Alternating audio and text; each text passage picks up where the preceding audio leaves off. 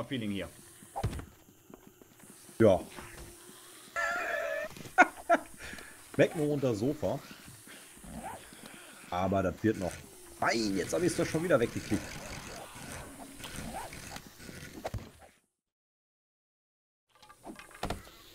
Hallo zurück. Ja, wie ihr hört und seht, Seven Days to Die ist Programm und Thema. Ja, mein Partner brauche ich auch nicht mehr vorstellen. Nee, mich kennt man schon. Der Safe-Knacker Funnybone. Ja. ja, Digga, hör auf den Safe zu knacken. Mach hier Frames rein. Der Safe ist erstmal wichtiger. Ähm, Immer. Wenn da eine Shotgun drin ist, dann fühle ich mich viel wohler. War da eine Shotgun drin? Nein, weiß ich noch nicht. So. Äh, Pistolenteile, zwei von drei. Shotgun Barrel. Also eigentlich interessantes Zeug, nur dass wir jetzt nichts damit anfangen können. eigentlich interessantes Zeug, aber ja, gut. Richtig, wenn das aber nicht immer wäre. So, ich habe noch Holz, ne? 15 Frames habe ich noch. Holz muss ich gleich jetzt umwandeln. Ja, wie machen wir es? Barrikadieren wir nur den Raum? Hast du die unterste Leiter schon entsorgt? Äh, ja, die unterste Stufe habe ich entsorgt, genau. Ähm, ja, keine Ahnung. Ich wollte erstmal eine Kiste haben, dass wir hier looten können, ey. Bau erstmal eine Storage Chest, genau. Besten gleich zwei, ja. Schaden wird es nicht. Ich baue jetzt erstmal einen Deckel hier auf die Leiter noch, zusätzlich. Und dann sollten wir in dem Raum, in dem wir da hinten sind, weil der Boden sehr weich ist, sollten wir eine Lage Dings einziehen, wenn wir uns hier nächtigen wollen. Bleiben wir hier nur für eine Nacht oder bleiben wir hier länger? Hier. Für... Ja. Ja. Ja, dann mach's jetzt, bevor ich die Kisten hinstelle. Das weiß ich noch nicht, ob wir hier länger bleiben. Das kann ich dir nicht sagen. Vielleicht ist ja hier was in der Umgebung. Ich würde sagen, wir benötigen erstmal noch jede Menge Material. Wir müssen ein bisschen kochen. Könnten wenig dauern. Weil ich habe schon erlebt, dass sie uns den Boden einhacken. Ja. In diesen Häusern.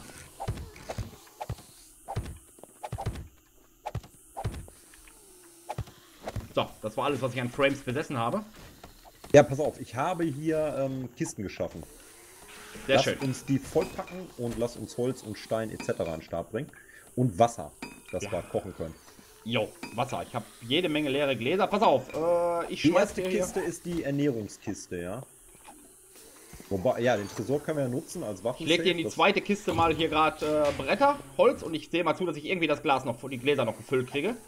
Äh, bevor du losrennst hier mit Gläsern, warte, ne? Ich habe 30 Stück dabei. Ja, hätte ich dir nämlich auch noch mitgegeben, 30 Stück. Aber ich kann ja nicht so sonderlich viel tragen. Ich will jetzt ja nur schnell gucken. Ach, gibt's hier einen Pool im Garten? Ja, ja. im Garten gibt's einen Pool, aber was will ich denn mehr? Bin ich ja in wenigen Augenblicken schon wieder zurück. Ein paar Steine brauche. Ah ne, blanke Steine habe ich auch noch. Ja, wenn Fanny da unterwegs ist, ich wow, äh, schaffe hier Ordnung. Ich werde erstmal zu. Krempel, den ich jetzt auf die Schnelle nicht brauche, wirklich sinnvoll hier verteilen werde. Ähm.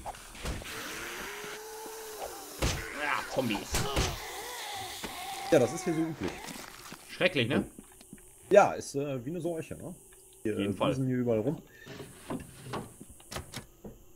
Aha, vorne hast du schon Frames reingesetzt, sehr gut. Ja, ja, vorne hatte ich Frames rein. Ähm, ich würde ganz gerne, wenn es eben geht, gerade noch die paar Minuten nutzen und Holz sammeln. Geht doch. Ja, ich habe die Frames äh, weggemacht, ne? Also falls du im Haus Besuch kriegst, ich bin schuld. Du bist sowieso immer schuld.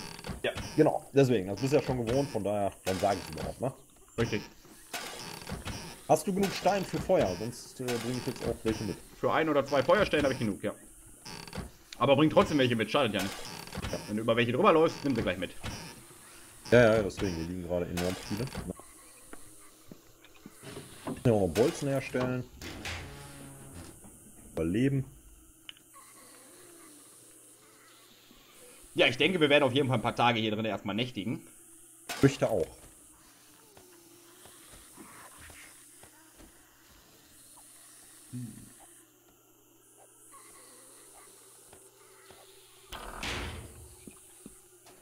Ja, Schritte? Wo ist denn der Typ?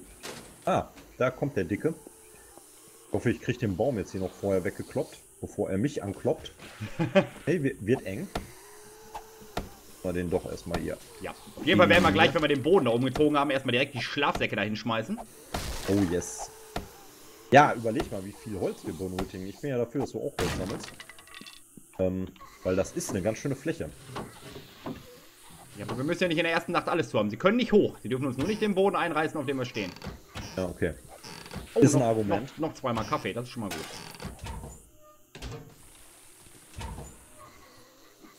Ja, halbe Stunde habe ich jetzt circa noch, um draußen zu survivalen. Ob ich es ganz drauf anlege und diese halbe Stunde ausnutzen werde, da bin ich mir noch.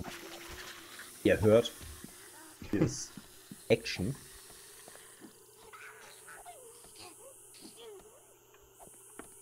Boah, der will auch nicht jetzt sagen, er will gar nicht kaputt gehen. Ähm, ich gucke jetzt gerade noch einmal um die Ecke weiter, ob hier noch. Ne. Ja, Wasserproblem hatten wir erledigt durch die Toilette oder den Pool. Sonst wäre hier auch ein See. Diverse Steine. So, wie sieht's denn fleischtechnisch aus bei dir? Haben wir genug zu essen? Der frisst mich arm, der Junge. Ja, wir haben noch zweimal Hase und siebenmal Schwein. Wäre Ja, Moment. Oder äh, 28 Eier. Wenn wir genug Wasser haben, können wir also auch Eier kochen. Ja, du hast ja Wasser besorgt, ne? Die Töpfe, du kannst schon kochen. Die Töpfe hatte ich da ähm, Instinkt. Er lernt schon Rezepte, ich hör's doch. Richtig. Aber leider nicht das, was wir brauchen. Ich habe noch nicht ein Rezept hier in der Hand gehabt. Server. Nee, ich wollte jetzt auf die Schnelle auch nur noch gucken, ob ich äh, was zu essen ergatter. So, jetzt bewege ich mich in die falsche Richtung. Aber es wird mir hier zu ähm, brenzlig. Ich auch wieder rein. So. Habe ich noch deine Wasserflaschen Flaschen gefüllt. Das heißt, wir können uns 60 mal Wasser machen. Das heißt, wir können die Eier durchkochen und alles drum und dran. Wir kochen mal Ja, unsere Eier durch. Von Anfang.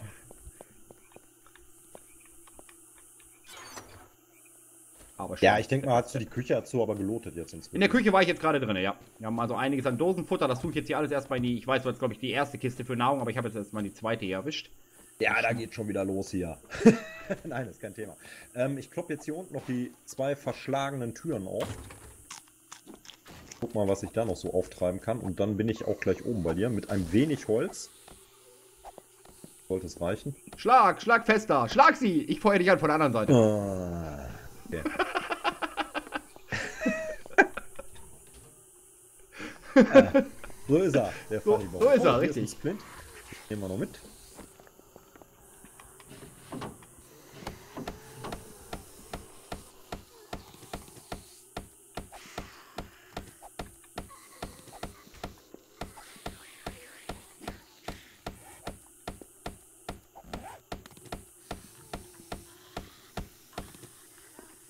So. Das schon mal geschafft. Ach ja. Alles nicht so einfach hier. Alles nicht so einfach, da hat er recht. So, jetzt mache ich noch eine kleine zusätzliche Ecke. Kann ich gleich schon mal hier zwei Feuerstellen bauen, weil ich glaube, zwei sind besser, so viel Wasser wie wir haben.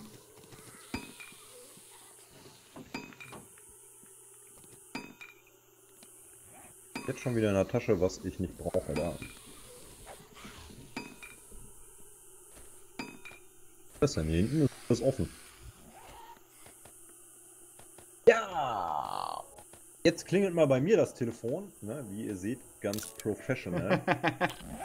ähm, Ups. ja, ich mache hier mal eine klitzekleine Pause. Ich bin sofort wieder da. Bis gleich. Ich ignoriere ihn einfach mal. Und baue weiter. Er steht ja hier noch so lieb rum.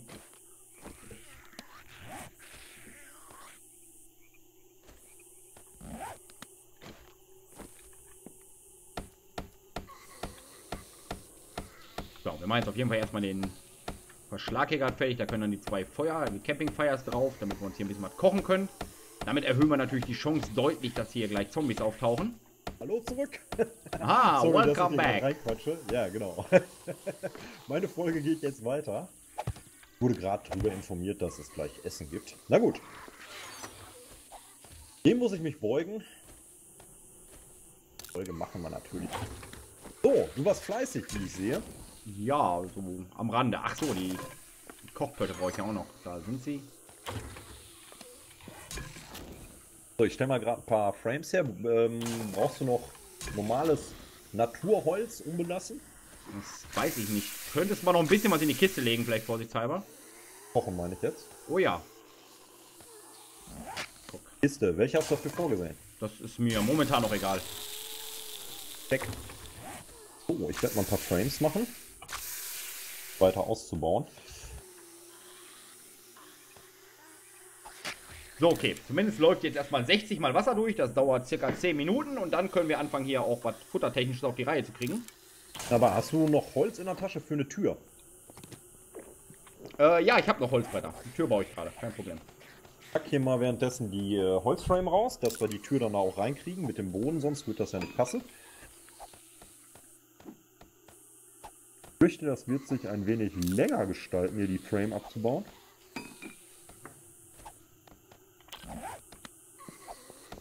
Warum machst du das? Warum sollte die Tür da nicht reinpassen? Ähm, weil ich dachte, wir setzen hier überall Frames vor. Ach so, hier vor die Wand, aber das ist doch egal. Ja? Ja, mir geht es mehr um den Boden. Wenn die von unten anfangen, die Wände einzuschlagen, dann hast du manchmal so Risse im Boden und dann bröckelt der weg. Ja, das ist mir klar, aber ich hätte jetzt hier überall Frames gesetzt bis zur. Verstehst? Können wir ja noch. Ja, nee, dann muss ja jetzt die Tür wieder raushämmern. Ja. Egal, du machst das schon. Ich verstehe ihn manchmal nicht, ihr auch nicht, aber so ist er halt. Ich kann dir das Problem zeigen. So, Problem erkannt? Ja. Ja. Problem erledigt. So hättest du die Stelle einfach offen gelassen da, oder was? Richtig. Oder wir setzen innen nochmal eine zweite Tür. Ne, lassen ja. so einen Aircode sitzen, innen nochmal eine zweite. Auf jeden Fall machen wir die erstmal dicht. Hast du jetzt noch äh, drei Frames? Ich habe die drei Frames, die ich hatte, habe ich da eben hingesetzt. Aber ein paar kann ich noch herstellen. Mach mal gerade, drei Stück würden es... Äh, Kommt auf jeden Fall gerade eine Horde, hörst du das? Wird immer ja, lauter. Deswegen, deswegen würde ich sagen, machen wir jetzt hier gerade noch den Boden dicht und dann versuchen wir uns mal ein wenig stiller zu verhalten. Wobei, hier fleißig am Kochen. Oh, glaub, mit Hunden. gar keine Rolle. Ja. Ja, draußen an der Treppe habe ich gerade auch noch so eine Falltür angebracht, vorsichtshalber. Ja, das ist cool.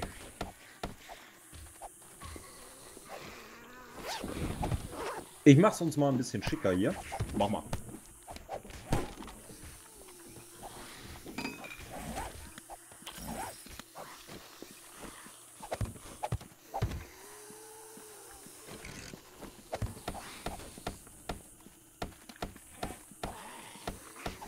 Für mich immer Feuermaterial. ja, das können wir ja nehmen. Ich stell's erstmal hier hin. Nein, klar.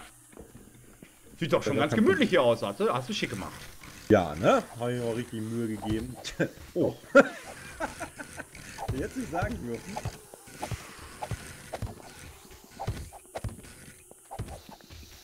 Zack. Weg. Hier am Feuer wollte ich genau Wegstehenden hinstellen. Na, er will nicht. Jetzt Boah.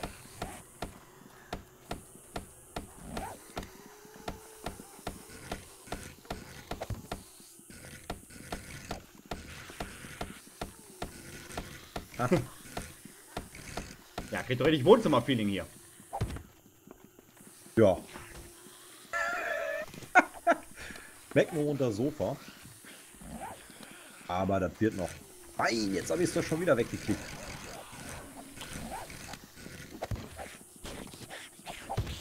Mann, Mann. So. Ja, es wird fleißig lauter im Hintergrund.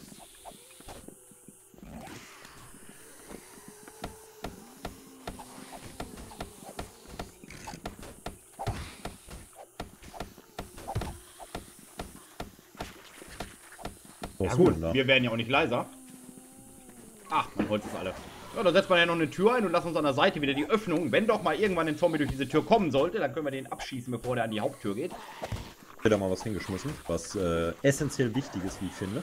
Sehr schön, kann ich aber nicht aufnehmen. Ach, da ist Okay. Ja. Ja, unser erstes Haus, unsere erste Behausung hier. Ähm, bin gespannt, wie sie morgen früh aussehen wird, nachdem die Horde hier fertig ist. Das, ist dann ja auch immer so eine Sache. Richtig. Ich nehme an, sie wird sich stark von der jetzigen Form differenzieren. Es wird das eine oder andere Loch da unten in der Wand entstehen. Da kann man wohl von ausgehen, ja, doch, aber ja. was soll's. Genau. Kann man ja alles wieder flicken, ne, mit ein bisschen Spucke und ein Stück Holz. Geht ja alles. einiges. Ja, ich bin auf jeden Fall holzlos. Äh, ich habe hier doch was in die Kiste getan, ne? Falls du jetzt Ach so. vorhast, noch was zu kochen oder so. Ja, gleich zumindest das Fleisch müssen wir ja noch kochen.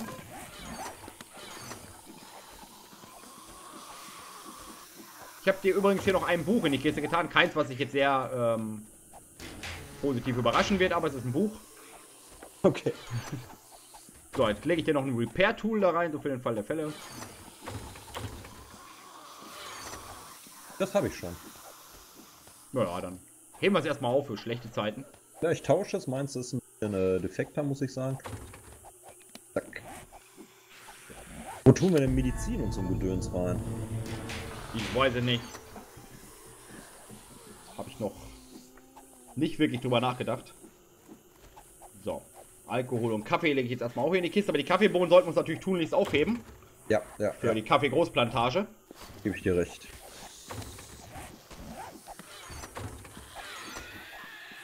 Uh, da schreit schon wieder einer. Ja, ja, die geben mächtig Gas da unten.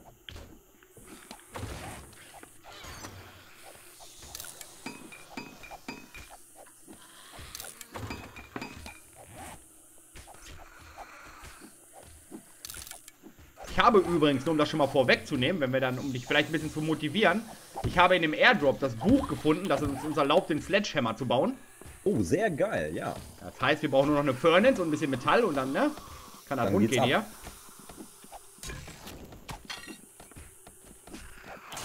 Ja, ihr kennt das, ne? Die Nachbarn toben und brüllen, es soll ruhiger werden und wir ignorieren es einfach. Ja klar, wir machen hier fleißig weiter Party. Hast du aus dem einen Feuer schon das Wasser rausgenommen gehabt? Ja. Eindeutig. Also nicht weggebackt. Nein. Kann ich dich beruhigen, ich hab's in der Tasche, alles gut. Ja, ich werde uns jetzt hier mal noch ein Fenster zimmern, dass wir hier auch schön fleißig aufs Dach kommen, um das ganze Areal von oben zu verteidigen. Äh, ach so. Wahrscheinlich kloppe ich hier direkt an der Stelle, wo der Schornstein ist, so wie es ausschaut. Das ist gut möglich. Ich weiß auch nicht, wie das Haus hier gebaut ist, ob, der, ob die Kletterer hochkommen, ist natürlich noch die Frage. Ich glaube, das Dach stand über. Aber wir können ja eine Frame dann reinsetzen oder so. Ähm ja, ich werde mit der Steinaxt hier, die übrigens fast im Eimer ist. Boah, und ich habe auch sämtliche Steine dafür verbraten jetzt gerade. Geile Nummer. Ja, du hast auch keine Steine mehr so im äh, Repertoire, ne? Ich habe noch zwölf kleine Steine, muss meine Axt allerdings auch mal reparieren. Ja, mach das doch mal. Und das, was überbleibt, könntest Ja, du ja, ja mal... ich, ich tue jetzt sechs auf meine Axt und schmeiß dir sechs hier ab. So. Da sind Ey, die. du sagst, du hast ja schon eine Sonnenbrille. Ja, habe ich unten gefunden. Ja, sehr cool. Uh, ich habe aber auch ein bisschen Panik, muss ich zugeben. Ist ja, Ja. gemeingefährlich an hier. Ja, da bist du aber nicht alleine. Unruhigt mich auch ein wenig. Da. Ein wenig. Geräuschkulisse. Ja, ein wenig. Ach so, hier die ganzen Eier kann ich mal noch ablegen.